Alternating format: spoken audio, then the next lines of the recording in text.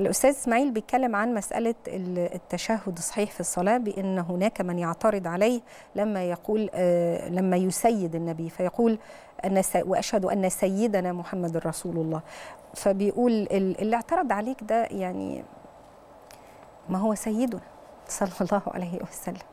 أليس هو القائل وأنا أنا سيد ولد آدم ولا فخر؟ صلى الله عليه وسلم. فجائز ومندوب. ده ده من باب تقديم الأدب.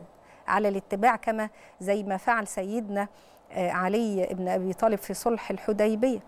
لما لم يوافق على أنه يمسح هذا ما اتفق عليه محمد رسول الله. قريش كانت معترضة على رسول الله عايزين يكتب محمد هذا ما اتفق عليه محمد. فلما أمر بأنه لم يمسح رسول الله مع برغم أن النبي عليه الصلاة والسلام أمره أنه يمسحها عليه الصلاة والسلام لكنه لم يمسحها تقديما للأدب أنه ده مقامه ونحن نجله وهو سيدنا وسيد الجميع وسيد الخلق أجمعين. فإذا أنت قلت من باب الأدب لا مانع وهو أولى وهو مندوب. اللهم صل وسلم وبارك على سيدنا ومولانا محمد.